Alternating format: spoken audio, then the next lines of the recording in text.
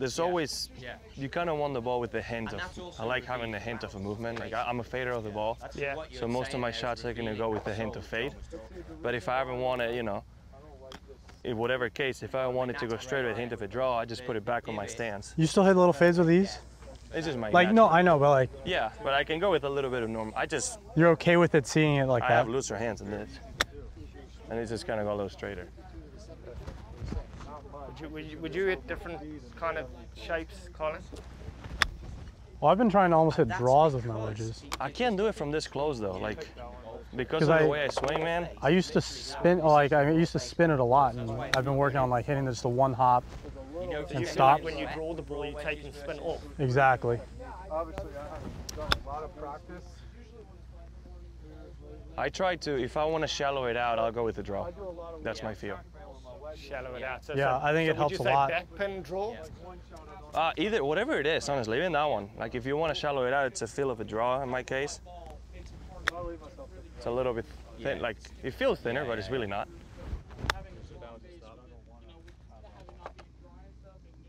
So, but I can still hit the shot, obviously, but it's just not my favorite. 72, I'm gonna be okay with 72 because I have. It's pretty good. Pretty good. I like it a lot. Pretty good. trying to find the other. you know, kind of control it because, like I said, it's so hard to. 72, I'm okay because. Even though I'm open in the face and still coming out a little lower, Yeah. it's gonna have that spin. Yeah, yeah, It's yeah. gonna attach to the grooves and kind of take off a little harder. But I like it. I like it. at 82 is speed between 72 and 82. That it's gonna just shoot up and knuckle. But for me, all I've. Let me just catch Collin. He's just put the sticker on this. So this is a freshie, just with This the is the sticker off. freshie. Okay. This was the 10. The other one was the 14 with like Okay, kind cool. So you're just trying out the different bounces. And look at that in between the grooves. Sounds feels so nice. Yeah. Yeah, I mean, it would be a little shorter. I never liked the. Because you still want to. Nothing like hitting a brand new wedge, hey? It just clips, Yeah. but it feels different than this one. Yeah. So you playing with two different bounces here. Talk to me about what you're looking for in these initial test shots. Yeah, uh, just how it comes through. I mean, I, I want it to glide through, like DJ said, not grab and dig. Yeah. Because I, I sometimes I go steep, and that's what I'm trying to do, trying to shallow it out more. Okay. Um, but that first, like that one, when I hit it, I could feel the leading edge just dig a little too much. Yeah. And then it, it's not like it digs and stays, but I don't want to feel that grab and tension against. I want to just slide through. patterns when you're doing that. A little bit. Um, but like these were much better than that one. That was really short, just Yeah. jabby almost.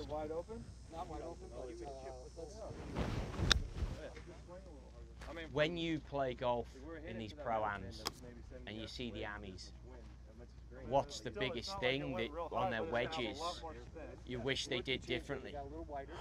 I wish they just stayed down. Yeah. I mean, they try and get the ball up, no matter how they try and use their entire body, and um, I think it's just important just to get that contact. You, know, you got a, you got 60 degrees of loft in your hand, if not more, Yeah. opening it up. Like Yeah. it's gonna, It's gonna get you're gonna get a lot of spin. It's gonna get up, no problem. It was in the leather, too. But obviously it goes a little higher, but it wasn't too high. that was jumping all over the place. I was in the hole. I know, and then someone behind you followed it in. What? Was that third shot with that wedge? Uh, no, maybe like 12th.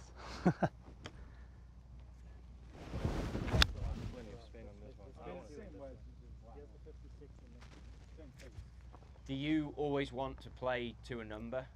Or do you ever get to a distance where it's just feel? Like, where's the boundary between, okay, this is my 50 yard swing, this is my It's like for the, for them it was 85. For me it's 75.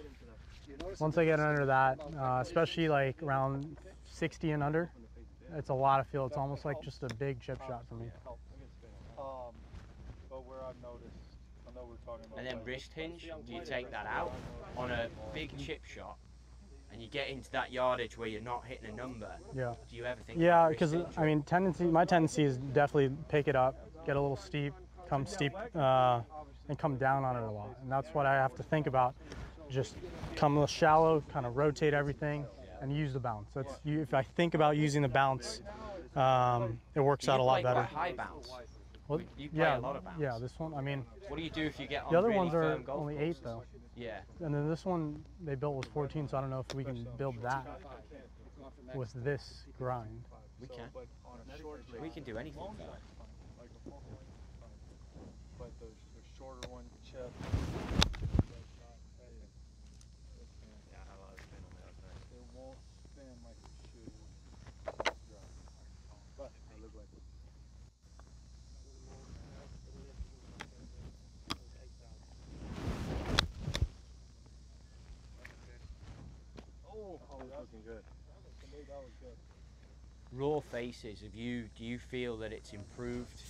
your spin? Yeah, I, I think just trusting it, trusting it that it's going to spin. I think Yeah. that's important, and knowing you with a raw face, you know it's going to grab a little more. been with you guys for 15, you know, like, That's got plenty of spin.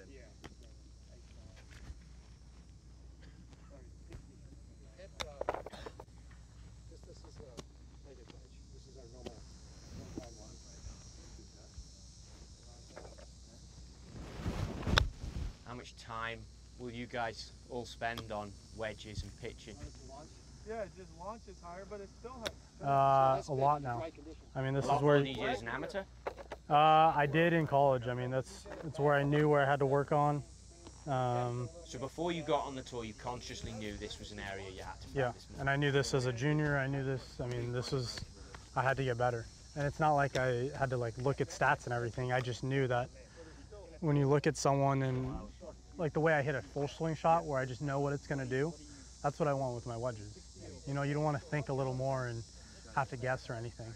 Um, so I mean, obviously, I just got a TrackMan, working on numbers, getting those numbers dialed in because you know when you do have the chances, short par fours, um, You've got to take par it. fives, yeah, So exactly. what did you do to go about practicing? What did you do to set? So you're standing there, you know, three years ago, you're like, okay, I've got to get better than this. Yeah, How well, did you set out? Did you do what we're doing here and go, okay, three different pins on a green, and I'm going to stay in one spot, or did you go four balls, four balls, four balls? when I when or I did- first or were you like flipping and thought? when "I've I gotta change my first started, um, it was almost like I got to change a little technique. It wasn't a lot, but I couldn't. I didn't want to land it five, six, ten yards past the hole and have it spin back every time. So I had to just figure out something. So I pretty much grabbed a 52 degree wedge, my gap wedge, and s- tried a different technique and tried getting as much spin on that. Yeah. And then copying that same technique. You don't need to swing hard. Wedges, you, it's not like you need to get 115 yards out of a 60 degree wedge Yeah. you know so that for me was a big thing where i can get it just to land take a hop stop i know that i'm going to do that every time and then from there is more distance work you know I- i'd go yeah we pretty much had like a little strip of grass in college uh, and i'd just go 10 to 80 yards You need spin to control the ball. nonstop Wow. I mean, you could do that for hours, I bet.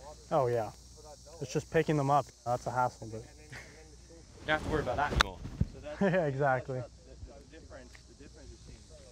And then do you keep it dialed? Does it leave if you're not dialed in on that? Yeah, it's something that I, I just always have to keep working on. I mean, it's something that it's just a little different feel than hitting full shots for me. If you just give me a club and tell me to hit it whatever, Yeah. you know, it's a little different. And that's what I want to get with these wedges. Um, and I definitely believe I can get there. Yeah, exactly. That's why I still I like having